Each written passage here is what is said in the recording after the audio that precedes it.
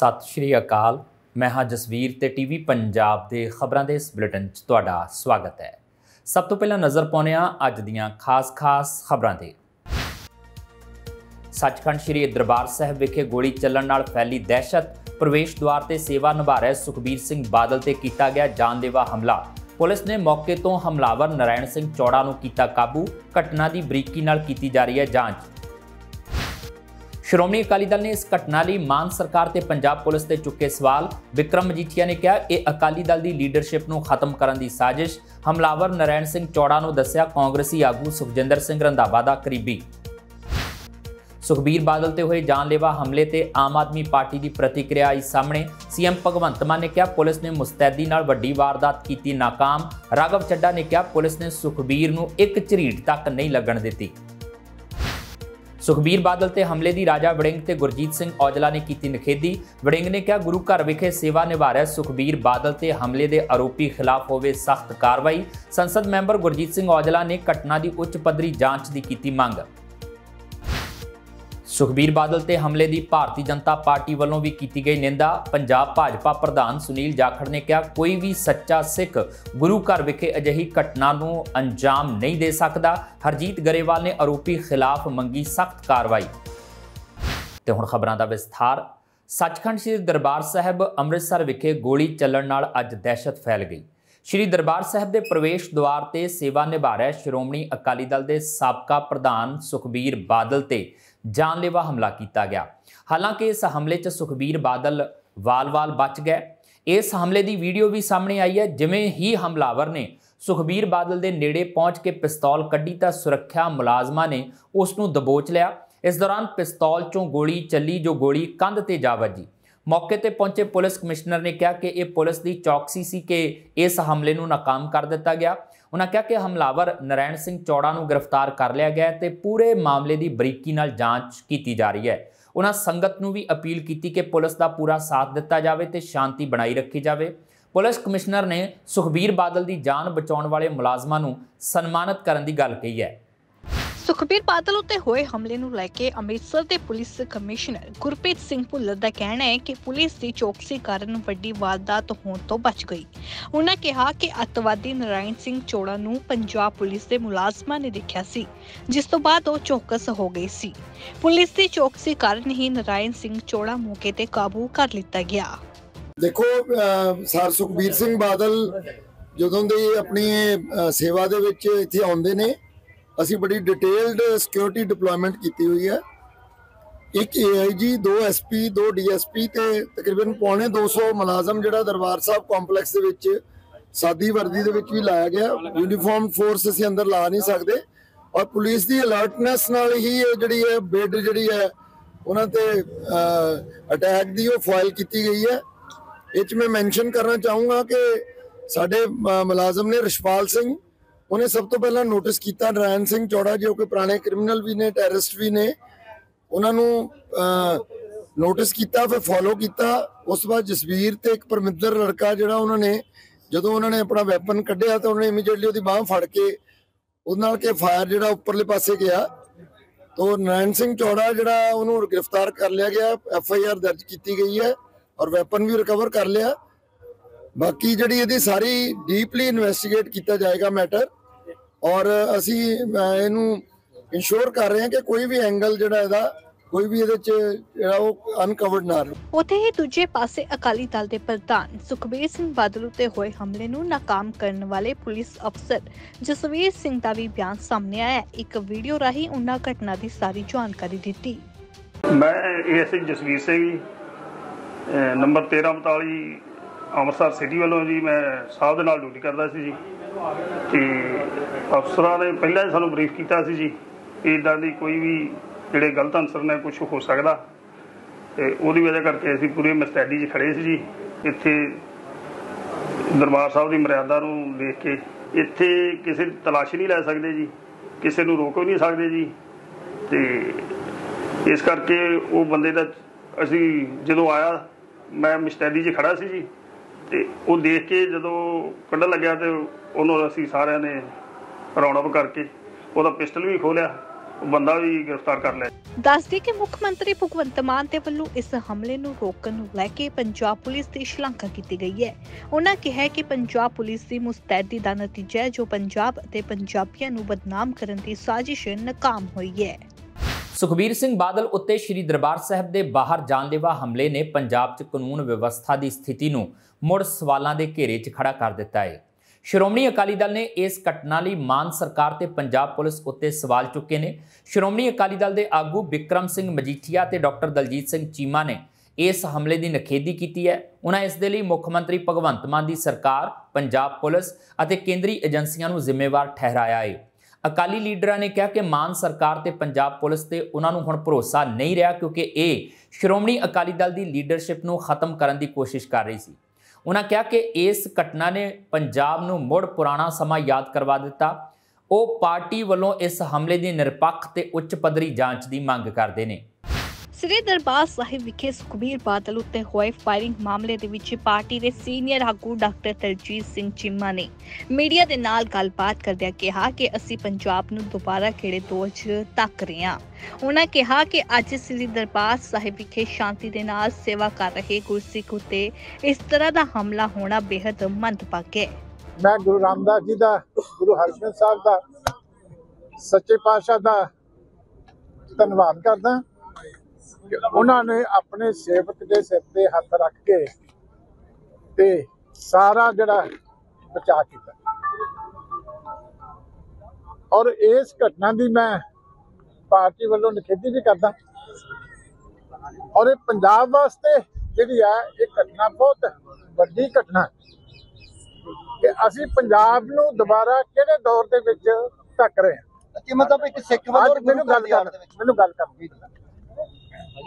ਅਸੀਂ ਪੰਜਾਬ ਦੇ ਵਿੱਚ ਜਿਹੜੀ ਬੜੀਆਂ ਵੱਡੀਆਂ ਕੁਰਬਾਨੀਆਂ ਦੇ ਕੇ ਬੜੇ ਵੱਡੇ ਜਵਾਨੀ ਦਾ ਘਾਣ ਹੋਇਆ। ਉੱਥੇ ਹੀ ਦੂਜੇ ਪਾਸੇ ਵਿਕਰਮ ਸਿੰਘ ਮਜੀਠੀਆ ਨੇ ਪੱਤਰਕਾਰਾਂ ਦੇ ਨਾਲ ਗੱਲਬਾਤ ਕਰਦਿਆਂ ਕਿਹਾ ਕਿ ਜਿਸ ਤਰ੍ਹਾਂ ਸੁਖਬੀਰ ਸਿੰਘ ਬਾਦਲ ਉੱਤੇ ਹਮਲਾ ਕੀਤਾ ਗਿਆ ਹੈ ਉਹ ਗਿਣਨੀ ਮਿੱਥੀ ਸਾਜ਼ਿਸ਼ ਹੈ। ਉਹਨਾਂ ਨੇ ਖੁਲਾਸਾ ਕੀਤਾ ਕਿ ਸੁਖਬੀਰ ਬਾਦਲ ਉੱਤੇ 9 ਐਮਐਮ ਦੀ ਪਿਸਟਲ ਦੇ ਨਾਲ ਫਾਇਰ ਕੀਤਾ ਗਿਆ ਹੈ। ਮੇਨ ਐਂਟਰੈਂਸ ਤੇ ਗੁਰੂ ਘਰ ਦੀ ਮੇਨ ਜਿੱਥੇ ਲੋਕ ਸੰਗਤ ਆਉਂਦੀ ਆ, ਉਹਨੂੰ ਸੁਰੱਖਿਅਤ ਨਹੀਂ ਰੱਖ ਪਾ ਰਹੇ। ਤੁਸੀਂ ਕਾਦੀ ਲਾਅ ਐਂਡ ਆਰਡਰ ਤੇ ਕਾਦੀ ਸਿਕਿਉਰਿਟੀ ਦੇਣੀ? ਦੱਸਦੀ ਕਿ ਅੱਜ ਸਵੇਰੇ ਸੱਚਖੰਡ ਹਰਮੰਦਰ ਸਾਹਿਬ ਵਿਖੇ ਸੇਵਾ ਕਰ ਰਹੇ ਸੁਖਬੀਰ ਸਿੰਘ ਬਾਦਲ ਉੱਤੇ ਨਰਾਇਣ ਸਿੰਘ ਚੋੜਾ ਨਾਂ ਦੇ ਇੱਕ ਵਿਅਕਤੀ ਵੱਲੋਂ ਹਮਲਾ ਕਰਨ ਦੀ ਕੋਸ਼ਿਸ਼ ਕੀਤੀ ਗਈ ਸੀ। ਪਰ ਸੁਖਬੀਰ ਬਾਦਲ ਦੀ ਸਿਕਿਉਰਿਟੀ 'ਚ ਤੈਨਾਤ ਪੁਲਿਸ ਮੁਲਾਜ਼ਮਾਂ ਨੇ ਮੌਕੇ ਤੇ ਹੀ ਮੁਲਜ਼ਮ ਨੂੰ ਕਾਬੂ ਕਰ ਲਿਆ ਸੀ। ਸੁਖਬੀਰ ਸਿੰਘ ਬਾਦਲ ਤੇ ਹੋਏ ਜਾਨਲੇਵਾ ਹਮਲੇ ਤੇ ਪੰਜਾਬ ਸਰਕਾਰ ਤੇ ਆਮ ਆਦਮੀ ਪਾਰਟੀ ਦੀ ਪ੍ਰਤੀਕਿਰਿਆ ਵੀ ਸਾਹਮਣੇ ਆਈ ਹੈ। ਮੁੱਖ ਮੰਤਰੀ ਭਗਵੰਤ ਮਾਨ ਨੇ ਕਿਹਾ ਕਿ ਘਟਨਾ ਦੀ ਨਿੰਦਾ ਕੀਤੀ ਜਾ ਰਹੀ ਹੈ। ਪੰਜਾਬ ਪੁਲਿਸ ਨੇ ਅੱਜ ਇੱਕ ਵੱਡੀ ਵਾਰਦਾਤ ਹੋਣ ਤੋਂ ਰੋਕ ਦਿੱਤੀ ਹੈ। ਇਹ ਪੰਜਾਬ ਪੁਲਿਸ ਦੀ ਮੁਸਤੈਦੀ ਦਾ ਨਤੀਜਾ ਹੈ, ਜੋ ਪੰਜਾਬ ਅਤੇ ਪੰਜਾਬੀਆਂ ਨੂੰ ਬਦਨਾਮ ਕਰਨ ਦੀ ਸਾਜ਼ਿਸ਼ ناکਾਮ ਹੋਈ ਹੈ। ਪੁਲਿਸ ਨੇ ਮੌਕੇ ਤੇ ਹੀ ਹਮਲਾਵਰ ਨੂੰ ਗ੍ਰਿਫਤਾਰ ਕਰਕੇ ਵੱਡੀ ਕਾਮਯਾਬੀ ਹਾਸਲ ਕੀਤੀ ਹੈ। ਪੁਲਿਸ ਨੂੰ ਸਖਤ ਨਿਰਦੇਸ਼ ਜਾਰੀ ਕਰ ਦਿੱਤੇ ਗਏ ਨੇ ਕਿ ਇਸ ਘਟਨਾ ਦੀ ਤੁਰੰਤ ਜਾਂਚ ਕਰਕੇ ਰਿਪੋਰਟ ਸੌਂਪਣ। ਉਧਰ ਆਮ ਆਦਮੀ ਪਾਰਟੀ ਦੇ ਸੀਨੀਅਰ ਆਗੂ ਰਾਘਵ ਚੱਡਾ ਨੇ ਕਿਹਾ ਕਿ ਸੱਭਿਅਕ ਸਮਾਜ 'ਚ ਹਿੰਸਾ ਦੀ ਕੋਈ ਥਾਂ ਨਹੀਂ ਹੈ।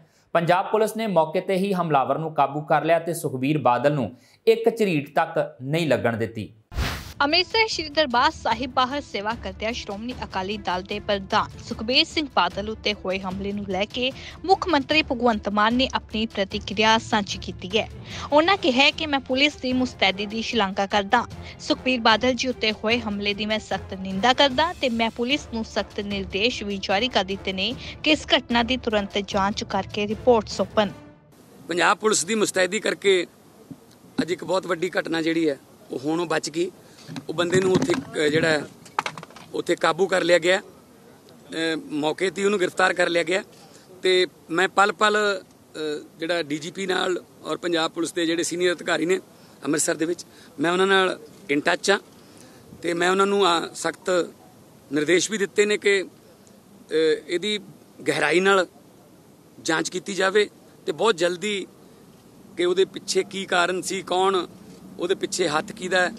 ਤੇ ਪੰਜਾਬ ਨੂੰ ਜਾਂ ਪੰਜਾਬ ਨੂੰ ਬਦਨਾਮ ਕਰਨ ਲਈ ਇਹੋ ਜਿਹੀਆਂ ਸਾਜ਼ਿਸ਼ਾਂ ਜਿਹੜੀਆਂ ਨੇ ਉਹ ਅਸੀਂ ਕਾਮਯਾਬ ਨਹੀਂ ਹੋਣ ਦੇਣ ਦੇਵਾਂਗੇ ਉੱਥੇ ਹੀ ਦੂਜੇ ਪਾਸੇ ਆਪ ਸਾਂਸਦ ਰਾਘਵ ਚੱਡਾ ਦੇ ਵੱਲੋਂ ਵੀ ਸੁਖਬੀਰ ਸਿੰਘ ਬਾਦਲ ਉੱਤੇ ਹੋਏ ਹਮਲੇ ਦੀ ਨਿਖੇਧੀ ਕੀਤੀ ਗਈ ਹੈ ਉਹਨਾਂ ਕਿਹਾ ਹੈ ਕਿ ਇੱਕ ਸੱਭਿਅਕ ਸਮਾਜ ਦੇ ਵਿੱਚ ਹਿੰਸਾ ਜਾਂ ਅਜਿਹੇ ਹਮਲਿਆਂ ਦੇ ਲਈ ਕੋਈ ਥਾਂ ਨਹੀਂ ਹੈ हम लोग उसकी कड़ी निंदा करते हैं एक सभ्य समाज में कहीं पर भी वायलेंस की और इस प्रकार के हमलों की कोई जगह नहीं है। परमात्मा का शुक्र है कि सुखबीर बादल जी को खरोंच भी नहीं आई और वे बच गए।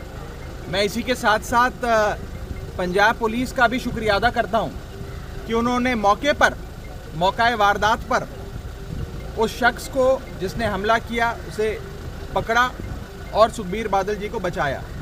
जहाँ तक कानून व्यवस्था की बात है ये तो पंजाब पुलिस ने ही आ, एक सक्सेसफुल मैं कहूँ स्ट्रैटेजी के तहत बचाया और ये इंश्योर किया कि उनको खरोंच भी ना आए ਹੁਣ ਦੇਖਣਾ ਹੋਵੇਗਾ ਕਿ ਮੁੱਖ ਮੰਤਰੀ ਭਗਵੰਤ ਮਾਨ ਦੇ ਸਖਤ ਨਿਰਦੇਸ਼ਾਂ ਤੋਂ ਬਾਅਦ ਪੰਜਾਬ ਪੁਲਿਸ ਮੁਲਜ਼ਮ ਖਿਲਾਫ ਕੀ ਕਾਰਵਾਈ ਕਰਦੀ ਨਜ਼ਰ ਆਉਂਦੀ ਹੈ ਸੁਖਬੀਰ ਸਿੰਘ ਬਾਦਲ ਤੇ ਹੋਏ ਜਾਨਲੇਵਾ ਹਮਲੇ ਦੀ ਪੰਜਾਬ ਕਾਂਗਰਸ ਪ੍ਰਧਾਨ ਅਮਰਿੰਦਰ ਸਿੰਘ ਰਾਜਾ ਵੜਿੰਗ ਅਤੇ ਐਮਪੀ ਗੁਰਜੀਤ ਸਿੰਘ ਔਜਲਾ ਨੇ ਵੀ ਸਖਤ ਨਿਖੇਧੀ ਕੀਤੀ ਹੈ। ਰਾਜਾ ਵੜਿੰਗ ਨੇ ਕਿਹਾ ਕਿ ਸੁਖਬੀਰ ਬਾਦਲ ਇੱਕ ਨਿਮਾਣੇ ਸਿੱਖ ਵਜੋਂ ਸੇਵਾ ਨਿਭਾ ਰਹੇ ਸਨ। ਭਾਵੇਂ ਕਿਸੇ ਨੂੰ ਵੀ ਸੁਖਬੀਰ ਸਿੰਘ ਬਾਦਲ ਨਾਲ ਨਫ਼ਰਤ ਹੋ ਸਕਦੀ ਹੈ, ਪਰ ਅਜਿਹੇ ਘਟਨਾਕ੍ਰਮ ਦੀ ਸਖਤ ਨਿਖੇਧੀ ਕੀਤੀ ਜਾਣੀ ਚਾਹੀਦੀ ਹੈ। ਉਹਨਾਂ ਕਿਹਾ ਕਿ ਹਮਲਾਵਰ ਨਰੈਣ ਸਿੰਘ ਚੌੜਾ ਖਿਲਾਫ ਸਖਤ ਤੋਂ ਸਖਤ ਕਾਰਵਾਈ ਹੋਣੀ ਚਾਹੀਦੀ ਹੈ। ਉਧਰ ਅੰਮ੍ਰਿਤਸਰ ਤੋਂ ਸੰਸਦ ਮੈਂਬਰ ਗੁਰਜੀਤ ਸਿੰਘ ਔਜਲਾ ਨੇ ਕਿਹਾ ਕਿ ਇਸ ਘਟਨਾ ਦੀ ਡੂੰਘਾਈ ਨਾਲ ਜਾਂਚ ਕੀਤੀ ਜਾਣੀ ਚਾਹੀਦੀ ਹੈ। ਲੋਕਤੰਤਰਿਕ ਸਮਾਜ 'ਚ ਹਿੰਸਾ ਦੀ ਕੋਈ ਜਗ੍ਹਾ ਨਹੀਂ ਹੈ। ਇਹ ਘਟਨਾ ਕਾਨੂੰਨ ਵਿਵਸਥਾ ਵਿਗੜਨ ਬਾਰੇ ਗੰਭੀਰ ਚਿੰਤਾ ਪੈਦਾ ਕਰਦੀ ਹੈ। ਸਾਰੇ ਨਾਗਰਿਕਾਂ ਤੇ ਸਿਆਸੀ ਲੀਡਰਾਂ ਦੀ ਸੁਰੱਖਿਆ ਨੂੰ ਯਕੀਨੀ ਬਣਾਇਆ ਜਾਣਾ ਚਾਹੀਦਾ ਹੈ। ਸ਼੍ਰੋਮਣੀ ਅਕਾਲੀ ਦਲ ਦੇ ਸਾਬਕਾ ਪ੍ਰਧਾਨ ਸੁਖਬੀਰ ਸਿੰਘ ਬਾਦਲ ਉੱਤੇ ਸ੍ਰੀ ਹਰਮੰਦਰ ਸਾਹਿਬ ਦੇ ਬਾਹਰ ਗੋਲੀ ਚੱਲਣ ਦੀ ਘਟਨਾ ਦੀ ਚੌਂ ਪਾਸੇ ਨਿਖੇਪੀ ਕੀਤੀ ਜਾ ਰਹੀ ਹੈ। ਪੰਜਾਬ ਕਾਂਗਰਸ ਦੇ ਪ੍ਰਧਾਨ ਰਾਜਾ ਵੜਿੰਗ ਨੇ ਕਿਹਾ ਕਿ ਬੇਸ਼ੱਕ ਸਾਡੇ ਪਾਰਟੀ ਲੈਵਲ ਉੱਤੇ ਇੱਕ ਦੂਜੇ ਨਾਲ ਮਤਭੇਦ ਹੋਣ, ਪਰ ਅਸੀਂ ਇਸ ਹਮਲੇ ਦੀ ਨਿੰਦਿਆ ਕਰਦੇ ਹਾਂ। ਉਹਨਾਂ ਪੰਜਾਬ ਸਰਕਾਰ ਨੂੰ ਵੀ ਅਪੀਲ ਕੀਤੀ ਹੈ ਕਿ ਇਸ ਤਰ੍ਹਾਂ ਦੇ ਮੁਲਜ਼ਮਾਂ ਖਿਲਾਫ ਸਖਤ ਕਾਰਵਾਈ ਕਰਨੀ ਚਾਹੀਦੀ ਹੈ। ਇਸ ਤਰ੍ਹਾਂ ਦੀ ਘਟਨਾ ਘਟਨਾਕ੍ਰਮ ਨੂੰ ਅੰਜਾਮ ਦੇਣਾ ਮੈਂ ਕਹਿਣਾ ਕਿ ਬਹੁਤ ਵੱਡਾ ਗੁਨਾਹ ਹੈ। ਔਰ ਮੈਂ ਕਾਂਗਰਸ ਪਾਰਟੀ ਦਾ ਪ੍ਰਧਾਨ ਹੋਣ ਦੇ ਨਾਤੇ ਨਿੰਦਾ ਵੀ ਕਰਦਾ ਔਰ ਨਾਲ ਇਸ ਪੰਜਾਬ ਸਰਕਾਰ ਨੂੰ ਬੇਨਤੀ ਕਰਦਾ ਹਦਾਇਤ ਦਿੰਦਾ ਕਿ ਕਿਰਪਾ ਕਰਕੇ ਇਹੋ ਜਿਹੇ ਅਨਸਰਾਂ ਦੇ ਖਿਲਾਫ ਜਾਂ ਸਾਜ਼ਿਸ਼ਕਰਤਾ ਦੇ ਖਿਲਾਫ ਜਾਂ ਜਿਹੜੇ ਵੀ ਵਿਅਕਤੀ ਇਸ ਦੇ ਵਿੱਚ ਜਿਨ੍ਹਾਂ ਦੀ ਸਹਿਮਤੀ ਹੈਗੀ ਹੈ ਜਾਂ ਇਹ ਸਾਜ਼ਿਸ਼ ਦੇ ਹੈ, ਉਹਨਾਂ ਨੂੰ ਕਿਸੇ ਵੀ ਪ੍ਰਕਾਰ ਬਖਸ਼ਣਾ ਤੇ ਛੱਡਣਾ ਨਹੀਂ ਚਾਹੀਦਾ। ਉਹਨਾਂ ਨੂੰ ਸਖਤ ਤੋਂ ਸਖਤ ਸਜ਼ਾ ਦੇਣੀ ਚਾਹੀਦੀ ਹੈ। ਬੇਸ਼ੱਕ ਸਾਡੇ ਮਤਭੇਦ ਹੋਣ ਪਾਰਟੀ ਲੈਵਲ ਤੇ, ਲੇਕਿਨ ਸੁਖਬੀਰ ਸਿੰਘ ਬਾਦਲ ਵੀ ਤਾਂ ਕਿਸੇ ਦਾ ਪੁੱਤ ਹੈ, ਕਿਸੇ ਦਾ ਘਰ ਵਾਲਾ ਹੈ, ਕਿਸੇ ਦਾ ਬਾਪ ਹੈ। ਇਸ ਗੱਲ ਦੀ ਮੈਂ ਨਿੰਦਾ ਕਰਦਾ ਔਰ ਨਾਲ ਹੀ ਨਾਲ ਮੈਂ ਸਰਕਾਰ ਨੂੰ ਇਹ ਗੱਲ ਕਹਿਣੀ ਚਾਹੁੰਦਾ ਕਿ ਲਾਅ ਐਂਡ ਆਰਡਰ ਦੀ ਸਥਿਤੀ ਹੁਣ ਆ ਗਈਆਂ, ਹੁਣ ਤਾਂ ਸਾਡੇ ਗਲਾਂ ਨੂੰ ਪੈ ਗਿਆ ਕੰਮ।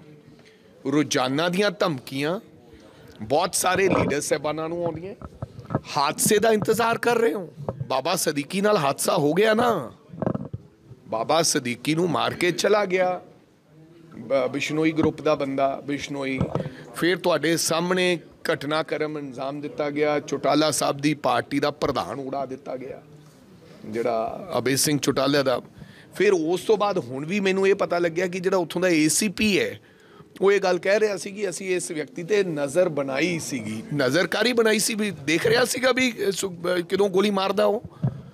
ਨਜ਼ਰ ਬਣਾਉਣ ਦਾ ਕੀ ਮਤਲਬ ਹੋਇਆ? ਉਹਨੂੰ ਫੜ ਕੇ ਪਹਿਲੇ ਹੀ ਅੰਦਰ ਦੇਣਾ ਚਾਹੀਦਾ ਸੀ। ਸੋ, ਨਜ਼ਰ ਬਣਾਈ ਰੱਖੀ। ਜਦੋਂ ਤੁਹਾਨੂੰ ਸ਼ੱਕ ਹੋ ਗਿਆ ਕਿ ਤੁਸੀਂ ਇੰਤਜ਼ਾਰ ਕਰ ਰਹੇ ਸੀ ਗੋਲੀ ਹਿੱਕ 'ਚ ਵੱਜੇ, ਸੋ ਲਾਅ ਐਂਡ ਆਰਡਰ ਦੀ ਸਥਿਤੀ ਪੰਜਾਬ ਦੇ ਹਾਲਾਤ ਕਾਬੂ 'ਚ ਨਹੀਂ ਹਨ। ਇਹ ਹਰ ਵਿਅਕਤੀ ਕਹਿ ਰਿਹਾ ਹੈ। ਹਜੇ ਤਾਂ ਹਜ਼ਾਰਾਂ ਲੱਖ ਐਸੇ ਲੋਕ ਨੇ ਜਿਹੜੇ ਘਰ ਬੈਠੇ ਫਰੋਤੀਆਂ ਦੇ ਦਿੰਦੇ ਆ ਜਿੰਨਾ 'ਚ ਜ਼ਰੂਰਤ ਨਹੀਂ ਹੈ ਕਿ ਉਹ ਸਾਹਮਣੇ ਆ ਕੇ ਦਰਖਾਸਤ ਦੇ ਸਕਣ। ਜੇ ਲੀਡਰਾਂ ਦੇ ਨਾਲ ਇਹੋ ਜਿਹੇ ਹਾਲਾਤ ਨੇ, Z+ ਪ੍ਰੋਟੈਕਟੀ ਦੇ ਇਹ ਹਾਲਾਤ ਨੇ, ਤੇ ਆਮ ਵਿਅਕਤੀ ਦੇ ਕੀ ਹਾਲਾਤ ਹੋਣਗੇ, ਇਹ ਅੰਦਾਜ਼ਾ ਲਾਇਆ ਜਾ ਸਕਦਾ। ਉੱਥੇ ਹੀ ਦੂਜੇ ਪਾਸੇ ਅੰਮ੍ਰਿਤਸਰ ਤੋਂ ਕਾਂਗਰਸ ਦੇ ਸਾਂਸਦ ਕੁਲਜੀਤ ਸਿੰਘ ਔਜਲਾ ਦਾ ਕਹਿਣਾ ਹੈ ਕਿ ਇਹ ਬਹੁਤ ਹੀ ਨਿੰਦਣਯੋਗ ਹੈ। ਅਜਿਹਾ ਨਹੀਂ ਹੋਣਾ ਚਾਹੀਦਾ ਸੀ। ਉਹਨਾਂ ਕਿਹਾ ਕਿ ਕਿਸੇ ਨੂੰ ਵੀ ਕਾਨੂੰਨ ਨੂੰ ਆਪਣੇ ਹੱਥ ਵਿੱਚ ਲੈਣ ਦੀ ਇਜਾਜ਼ਤ ਨਹੀਂ ਹੈ। निंदनीय है और गलत बात है, ये नहीं होना चाहिए था, क्योंकि दरबार साहब की प्रेसर है और उसका एरिया है और वैसे भी कानून किसी को हाथ लेने की इजाज़त नहीं देता। और वहाँ ऐसा होना बहुत गलत हुआ है, जब श्री कालसक साहब ने एक जथेदार साहबान ने एक सजा फिक्स कर दी है तो कोई आपको कोई आपत्ति है तो आप जथेदार को दोबारा अप्लाई कर दो। तो लेकिन वहां शांति बालता का प्रतीक है लोग अरदास करने आते हैं वहां किसी की भी तलाशी नहीं ली जाती और सब लोग बड़ी शांति के साथ आते हैं सारे धर्मों के लोग आते हैं संजी बालता का प्रतीक है तो वहां ऐसा हमला होना बहुत गलत बात है ਦੇਖਣਾ ਬੰਦ ਹੈ ਕਿ ਜਿਸ ਤਰ੍ਹਾਂ ਹੁਣ ਵਿਰੋਧੀ ਪਾਰਟੀਆਂ ਦੇ ਵੱਲੋਂ ਪੰਜਾਬ ਦੀ ਕਾਨੂੰਨ ਵਿਵਸਥਾ ਨੂੰ ਲੈ ਕੇ ਸੂਬਾ ਸਰਕਾਰ ਤੇ ਸਵਾਲ ਚੁੱਕੇ ਜਾ ਰਹੇ ਨੇ ਉਸ ਦਾ ਆਪ ਸਰਕਾਰ ਵੱਲੋਂ ਕੀ ਜਵਾਬ ਦਿੱਤਾ ਜਾਂਦਾ ਹੈ ਸੁਖਬੀਰ ਸਿੰਘ ਬਾਦਲ ਤੇ ਸ੍ਰੀ ਦਰਬਾਰ ਸਾਹਿਬ ਦੇ ਪ੍ਰਵੇਸ਼ ਦੁਆਰ ਤੇ ਹੋਏ ਹਮਲੇ ਦੀ ਭਾਰਤੀ ਜਨਤਾ ਪਾਰਟੀ ਵੱਲੋਂ ਵੀ ਨਿੰਦਾ ਕੀਤੀ ਗਈ ਹੈ। ਪੰਜਾਬ ਭਾਜਪਾ ਦੇ ਪ੍ਰਧਾਨ ਸੁਨੀਲ ਜਾਖੜ ਨੇ ਕਿਹਾ ਕਿ ਕੋਈ ਵੀ ਸੱਚਾ ਸਿੱਖ ਗੁਰੂ ਘਰ ਵਿਖੇ ਅਜਿਹੀ ਘਟੀਆ ਹਰਕਤ ਨੂੰ ਅੰਜਾਮ ਨਹੀਂ ਦੇ ਸਕਦਾ। ਸੁਖਬੀਰ ਬਾਦਲ ਧਾਰਮਿਕ ਸਜ਼ਾ ਦੇ ਤਹਿਤ ਆਪਣੀ ਸੇਵਾ ਨਿਭਾ ਰਹੇ ਸਨ। ਵਾਹਿਗੁਰੂ ਦੀ ਮਿਹਰ ਰਹੀ ਕਿ ਸੁਖਬੀਰ ਬਾਦਲ ਤੇ ਹੋਰ ਸੰਗਤ ਨੂੰ ਕੋਈ ਨੁਕਸਾਨ ਨਹੀਂ ਪੁੱਜਿਆ। ਜਾਖੜ ਨੇ ਹਮਲਾਵਰ ਨੂੰ ਕਾਬੂ ਕਰਨ ਵਾਲੇ ਪੁਲਿਸ ਮੁਲਾਜ਼ਮ ਦੀ ਬਹਾਦਰੀ ਦੀ ਵੀ ਸ਼ਲਾਘਾ ਕੀਤੀ। ਇਸ ਦੇ ਨਾਲ ਹੀ ਉਹਨਾਂ ਨੇ ਕਿਹਾ ਕਿ ਪੰਜਾਬ 'ਚ ਕਾਨੂੰਨ ਵਿਵਸਥਾ ਦੀ ਸਥਿਤੀ ਲਗਾਤਾਰ ਵਿਗੜ ਰਹੀ ਹੈ। ਸਾਨੂੰ ਹਮਲਾਵਰ ਨੂੰ ਕਿਸੇ ਸਿਆਸੀ ਲੀਡਰ ਨਾਲ ਜੋੜਨ ਦੀ ਬਜਾਏ ਅਸਲ ਸੱਚਾਈ ਨੂੰ ਸਾਹਮਣੇ ਲਿਆਉਣਾ ਚਾਹੀਦਾ ਹੈ। ਉਧਰ ਭਾਜਪਾ ਦੇ ਸੀਨੀਅਰ ਆਗੂ ਹਰਜੀਤ ਸਿੰਘ ਗਰੇਵਾਲ ਨੇ ਵੀ ਘਟਨਾ ਦੀ ਨਿਖੇਧੀ ਕਰਦਿਆਂ ਇਸ ਦੀ ਉੱਚ ਪੱਧਰੀ ਜਾਂਚ ਦੀ ਮੰਗ ਕੀਤੀ ਹੈ। ਸੁਖਬੀਰ ਉੱਤੇ ਹੋਏ ਹਮਲੇ ਉੱਤੇ ਭਾਜਪਾ ਦੇ ਸੂਬਾ ਪ੍ਰਧਾਨ ਸੁਨੀਲ ਜਾਖੜ ਨੇ ਕਿਹਾ ਕਿ ਕੋਈ ਵੀ ਸੱਚਾ ਸਿੰਘ ਗੁਰੂ ਘਰ ਦੇ ਅੰਦਰ ਅਜਿਹੀ ਘਟੀਆ ਤੇ ਕਾਇਰਤ ਭਰੀ ਕਾਰਵਾਈ ਨਹੀਂ ਕਰ ਸਕਦਾ। ਵਾਹਿਗੁਰੂ ਜੀ ਦੀ ਅਪਾਰ ਕਿਰਪਾ ਸਦਕਾ ਹਮਲਾਵਰ ਆਪਣੇ ਇਰਾਦੇ ਦੇ ਵਿੱਚ ਕਾਮਯਾਬ ਨਾ ਹੋ ਸਕਿਆ। ਸਰਦਾਰ ਸੁਖਬੀਰ ਸਿੰਘ ਬਾਦਲ ਦੇ ਉੱਤੇ ਅੱਜ ਜੋ ਹਮਲਾ ਹੋਇਆ ਹੈ, ਗੁਰੂ ਘਰ ਦੇ ਅੰਦਰ ਹਰਮੰਦਰ ਸਾਹਿਬ ਦੀ ਡਿਊਟੀ ਤੇ, ਇਹਦੀ ਜਿੰਨੀ ਕਰੜੇ ਸ਼ਬਦਾਂ 'ਚ ਨਿਖੇਧੀ ਕੀਤੀ ਜਾਵੇ ਉਨੀ ਘੱਟ ਹੈ। ਇੱਕ ਬਹੁਤ ਹੀ ਮੈਂ ਸਮਝਦਾ ਕੋਈ ਸਿੱਖ ਇਸ ਕਿਸਮ ਦੀ ਘਟੀਆ ਤੇ ਡਰਪੋਕ ਹਰਕਤ ਨਹੀਂ ਕਰ ਸਕਦਾ।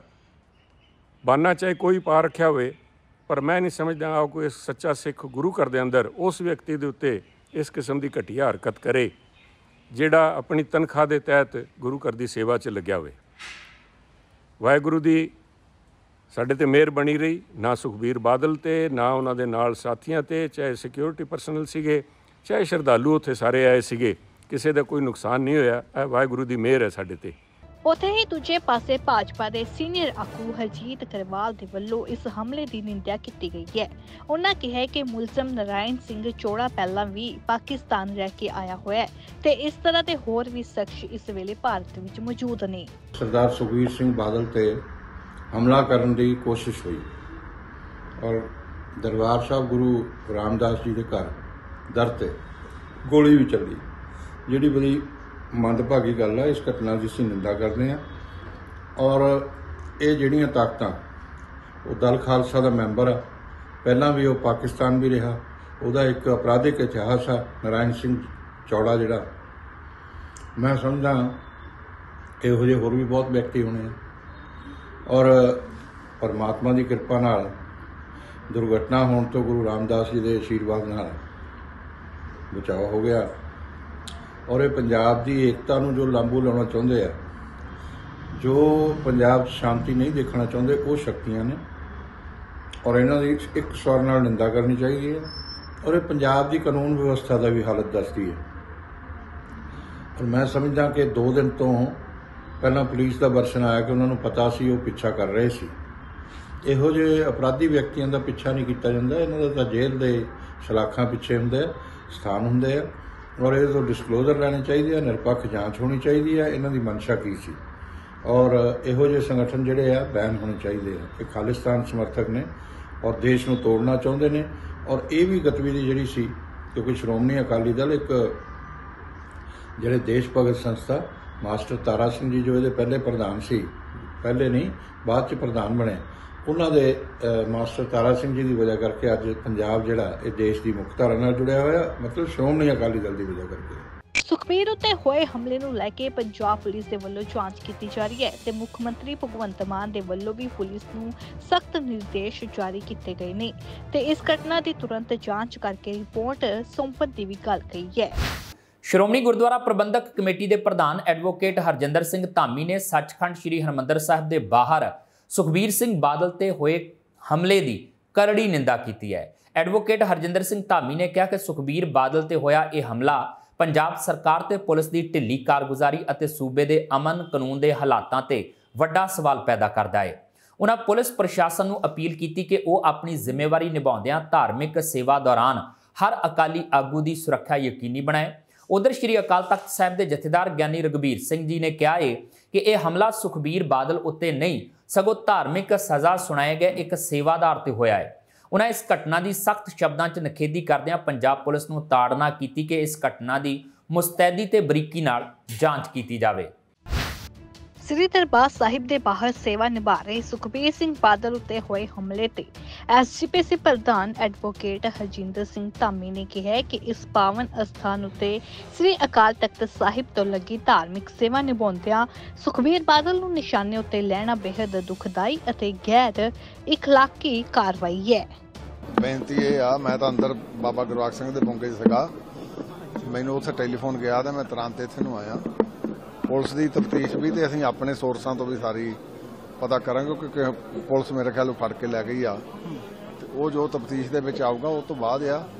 ਪਰ ਮੈਂ ਕਹਿ ਸਕਦਾ ਗੁਰੂ ਰਾਮਦਾਸ ਪਾਤਸ਼ਾਹ ਅੰਗ ਸੰਗ ਸਰਦਾਰ ਸੁਖਬੀਰ ਸਿੰਘ ਬਾਦਲ ਦੇ। ਜਿਹੜੇ ਅਡੋਲ ਹਾਲੇ ਵੀ ਬੈਠੇ ਆ, ਸੋ ਗੁਰੂ ਸਾਹਿਬ ਸਾਖਸ਼ਾਤ ਤੌਰ ਤੇ ਉੱਤੇ ਮੈਂ ਕਹਿੰਦਾ ਸਾਹਮਣੇ ਪ੍ਰਤੱਖ ਜਿਹੜੇ ਆ, ਉਹ ਹੋਏ ਆ। ਇਸ ਕਰਕੇ ਇਹ ਘਟਨਾ ਜਿਹੜੀ ਕਿਸ ਢੰਗ ਨਾਲ ਹੋਈ ਹੁਣ ਪੁਲਿਸ ਸਾਰੀ ਗਾਂ ਦੀ ਗਾਂ ਦੱਸੂਗੀ ਉਥੇ ਦੂਜੇ ਪਾਸੇ ਸ੍ਰੀ ਅਕਾਲ ਤਖਤ ਸਾਹਿਬ ਦੇ ਜਥੇਦਾਰ ਗਿਆਨੀ ਰਘਬੀਰ ਸਿੰਘ ਨੇ ਬਿਆਨ ਜਾਰੀ ਕਰਦੇ ਆਖਿਆ ਕਿ ਇਹ ਹਮਲਾ ਸੁਖਬੀਰ ਸਿੰਘ ਬਾਦਲ ਉੱਤੇ ਨਹੀਂ, ਸਗੋ ਸ੍ਰੀ ਅਕਾਲ ਤਖਤ ਸਾਹਿਬ ਦੇ ਸੇਵਾਦਾਰ ਉਤੇ ਹੋਇਆ ਸੁਖਬੀਰ ਨੂੰ ਸੇਵਾ ਸ੍ਰੀ ਅਕਾਲ ਤਖਤ ਸਾਹਿਬ ਨੇ ਲਗਾਈ ਹੈ ਅਤੇ ਉਹ ਇਹ ਸੇਵਾ ਨਿਭਾ ਰਹੇ ਸਨ। ਇਹ ਮੰਦਭਾਗੀ ਘਟਨਾ ਦੀ ਹੁਣ ਨਿੰਦਾ ਕਰਦੇ ਨੇ। ਇਹ ਸੁਖਬੀਰ ਸਿੰਘ ਬਾਦਲ ਤੇ ਹਮਲਾ ਨਹੀਂ ਹੈ। ਇਹ ਹਮਲਾ ਸ਼੍ਰੀ ਅਕਾਲ ਤਖਤ ਸਾਹਿਬ ਜੀ ਵੱਲੋਂ ਲੱਗੀ ਹੋਈ ਸੇਵਾ ਦੌਰਾਨ ਘੰਟਾ ਘਰ ਬਾਰ-ਬਾਰ, ਡਿਊਟੀ ਦੇ ਬਾਰ-ਬਾਰ ਸੇਵਾ ਕਰ ਰਹੇ, ਡਿਊਟੀ ਕਰ ਰਹੇ ਉਸ ਸੇਵਾਦਾਰ ਤੇ ਲੱਗੀ ਹੈ, ਜੋ ਸੇਵਾਦਾਰ ਦਾ ਨੀਲਾ ਚੋੜਾ ਪਾ ਕੇ ਹੱਥ ਵਿੱਚ ਬਰਛਾ ਫੜ ਕੇ ਤੇ ਘੰਟਾ ਘਰ ਦੇ ਬਾਹਰ ਸੇਵਾ ਕਰ ਰਿਹਾ ਸੀ। ਇਸ ਦੀ ਐਸੀ ਘੋਰ ਨਿੰਦਾ ਕਰਦੇ ਆ ਜਿੰਨੇ ਵੀ ਨਿੰਦਾ ਕੀਤੀ ਜਾਵੇ ਉਨੀ ਘੱਟ ਹੈ ਔਰ ਸਰਕਾਰ ਨੂੰ ਤਾੜਨਾ ਕਰਦੇ ਆ ਕਿ ਇਹਦੇ ਪਿੱਛੇ ਕੌਣ ਹੈ, ਇਹ ਸਾਰਾ ਵਰਤਾਰਾ ਕਿਉਂ ਵਾਪਰਿਆ ਉਹਦੀ ਮੁਸ਼ਤੈਦੀ ਦੇ ਨਾਲ ਬਰੀਕੀ ਦੇ ਨਾਲ ਜਿਹੜੀ ਜਾਂਚ ਹੈ ਉਹ ਜ਼ਰੂਰ ਕੀਤੀ ਜਾਏ। ਸ਼੍ਰੋਮਣੀ ਅਕਾਲੀ ਦਲ ਦੇ ਸਾਬਕਾ ਪ੍ਰਧਾਨ ਸੁਖਬੀਰ ਸਿੰਘ ਬਾਦਲ ਉਤੇ ਸ੍ਰੀ ਹਰਮੰਦਰ ਸਾਹਿਬ ਦੇ ਬਾਹਰ ਗੋਲੀ ਚੱਲਣ ਦੀ ਘਟਨਾ ਦੀ ਚੋਂ ਪਾਸਿਓਂ ਨਿਖੇਪੀ ਕੀਤੀ ਜਾ ਰਹੀ ਹੈ ਅਤੇ ਸਿਆਸੀ ਲੀਡਰਾਂ ਦੇ ਵੱਲੋਂ ਵੀ ਇਸ ਹਮਲੇ ਨੂੰ ਸਖਤ ਤਾੜਨਾ ਕੀਤੀ ਗਈ ਹੈ। ਸੁਖਬੀਰ ਸਿੰਘ ਬਾਦਲ ਤੇ ਹੋਏ ਹਮਲੇ ਤੇ ਕੇਂਦਰੀ ਰਾਜ ਮੰਤਰੀ ਰਵਨੀਤ ਸਿੰਘ ਬਿੱਟੂ ਦਾ ਬਿਆਨ ਵੀ ਸਾਹਮਣੇ ਆਇਆ ਹੈ ਬਿੱਟੂ ਨੇ ਕਿਹਾ ਕਿ ਸੁਖਬੀਰ ਬਾਦਲ ਗੁਰੂ ਘਰ 'ਚ ਮੌਜੂਦ ਸਨ ਤੇ ਸ੍ਰੀ ਅਕਾਲ ਪੁਰਖ ਨੇ ਉਹਨਾਂ ਦੀ ਰੱਖਿਆ ਕੀਤੀ ਹੈ। ਬਿੱਟੂ ਅਨੁਸਾਰ ਹਮਲਾਵਰ ਨਰੈਣ ਸਿੰਘ ਚੌੜਾ ਬੜੈਲ ਜੇਲ੍ਹ ਬ੍ਰੇਕ ਕਾਂਡ ਦਾ ਮੁੱਖ ਆਰੋਪੀ ਹੈ। ਇਸ ਨੇ ਮਰਹੂਮ ਮੁੱਖ ਮੰਤਰੀ ਬੇਅੰਤ ਸਿੰਘ ਦੇ ਕਤਲ ਦੇ ਆਰੋਪੀਆਂ ਨੂੰ ਭਜਾਉਣ ਦੀ ਸਾਜ਼ਿਸ਼ ਰਚੀ ਸੀ। ਬਿੱਟੂ ਨੇ ਕਿਹਾ ਕਿ ਪੁਲਿਸ ਅਧਿਕਾਰੀਆਂ ਨੇ ਉਹਨਾਂ ਨੂੰ ਵੀ ਨਰੈਣ ਸਿੰਘ ਚੌੜਾ ਤੋਂ ਸਾਵਧਾਨ ਰਹਿਣ ਲਈ ਕਿਹਾ ਸੀ ਕਿਉਂਕਿ ਇਹ ਉਹਨਾਂ ਦੇ ਕਾਫਲੇ ਤੇ ਹਮਲਾ ਕਰਨ ਦੀ ਯੋਜਨਾ ਬਣਾ ਰਿਹਾ ਸੀ। ਬਿੱਟੂ ਅਨੁਸਾਰ ਅਕਾਲੀ ਦਲ ਬੰਦੀ ਸਿੰਘਾਂ ਦੀ ਰਿਹਾਈ ਦੀ ਮੁਹਿੰਮ ਚਲਾ ਰਿਹਾ ਹੈ ਪਰ ਅੱਤਵਾਦੀ ਕਿਸੇ ਦੇ ਸਗੇ ਨਹੀਂ ਹੈ। ਪੁਲਿਸ ਨੇ ਭਾਵੇਂ ਸੁਖਬੀਰ ਬਾਦਲ ਤੇ ਹਮਲੇ ਦੀ ਸਾਜ਼ਿਸ਼ ਨੂੰ ਨਾਕਾਮ ਕਰ ਦਿੱਤਾ, ਪਰ ਅਦਾਲਤ 'ਚ ਆਰੋਪੀ ਦੇ ਪੱਖ 'ਚ ਵਿਦੇਸ਼ਾਂ ਤੋਂ ਆਏ ਵਕੀਲ ਖੜ ਜਾਣਗੇ, ਜਿਸ ਨਾਲ ਸਹੀ ਇਨਸਾਫ ਨਹੀਂ ਮਿਲ ਸਕੇਗਾ। ਸੁਖਬੀਰ ਸਿੰਘ ਉੱਤੇ ਹੋਏ ਹਮਲੇ ਤੋਂ ਬਾਅਦ ਕੇਂਦਰੀ ਰੇਲ ਰਾਜ ਮੰਤਰੀ ਰਵਨੀਤ ਬਿੱਟੂ ਨੇ ਵੱਡਾ ਬਿਆਨ ਦਿੱਤਾ ਹੈ। ਰਵਨੀਤ ਬਿੱਟੂ ਨੇ ਕਿਹਾ ਹੈ ਕਿ ਸੁਖਬੀਰ ਸਿੰਘ ਬਾਦਲ ਦੀ ਜਾਨ ਬਚ ਗਈ ਕਿਉਂਕਿ ਉਹ ਪਰਮਾਤਮਾ ਦੇ ਘਰ ਵਿਖੇ ਸਨ। ਉਹਨਾਂ ਕਿਹਾ ਕਿ ਹਮਲਾਵਰ ਨਰਾਇਣ ਸਿੰਘ ਮੇਰੇ ਦਾਦਾ ਅਤੇ ਪੰਜਾਬ ਦੇ ਸਾਬਕਾ ਮੁੱਖ ਮੰਤਰੀ ਬੇਅੰਤ ਸਿੰਘ ਦੇ ਕਤਲ ਦੇ ਵਿੱਚ ਵੀ ਸ਼ਾਮਲ ਸੀ। ਉਸਨੇ ਗ੍ਰਿਫਤਾਰ ਮੁਲਜ਼ਮਾਂ ਦੀ ਬੁੜੈਲ ਜੇਲ੍ਹ ਦੇ ਵਿੱਚੋਂ ਭੱਜਣ ਦੇ ਵਿੱਚ ਮਦਦ ਕੀਤੀ ਸੀ। ਬਿੱਟੂ ਨੇ ਇਹ ਵੀ ਕਿਹਾ ਕਿ ਹਮਲਾਵਰ ਨਰਾਇਣ ਸਿੰਘ ਚੋੜਾ 2009 ਦੇ ਵਿੱਚ ਵੀ ਉਸ ਨੂੰ ਮਾਰਨ ਦੀ ਕੋਸ਼ਿਸ਼ ਕਰ ਰਿਹਾ ਸੀ पहले तो जो सुखबीर सिंह बादल साहब की जान बची वो क्योंकि भगवान के घर के आगे थे इसलिए उस अकाल पुरख ने उनकी रक्षा की दूसरी बात मैं कहना चाहता हूँ मेरी लड़ाई क्या रही जब मुझे हर टाइम यही अकाली दल यही लोग जब मैं बड़े बड़े टेररिस्टों को चाहे वो मेरे दादाजी के कातिल हों चाहे और हों, मैं यही कहता था भी कभी भी ये किसी के सके नहीं हैं, किसी को भी डसेंगे।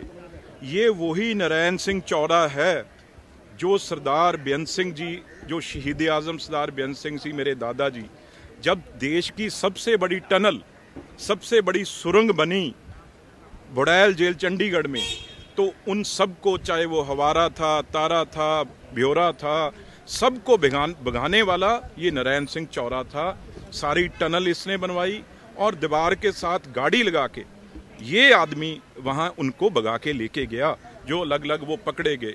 और उसके बाद मैं मेंबर पार्लियामेंट था आनंदपुर साहब से 2009 में। तो SSP Ranvir Singh Khatra IPS officer थे एसएसपी खटरा रोपड़ से। उन्होंने मुझे टेलीफोन करके कहा, अभी तीन दिन आप किसी तरीके से बचिए, बाहर मत निकलिए। ये नारायण सिंह चौरा जो है, एम्बेसडर कार बरूद से भर के आपके गाड़ी के बीच में ये कॉन्वाय को मारना चाहता है। तो मैंने तीन दिन वो निकाले, ये पकड़ा गया। लेकिन पर आज मैं यही कहना चाहता हूँ अकाली दल से, ये सुप्रीम कोर्ट तक, मैं नहीं उसमें पढ़ना चाहता जो फैसला हो, मैंने तो वो कह दिया है अब।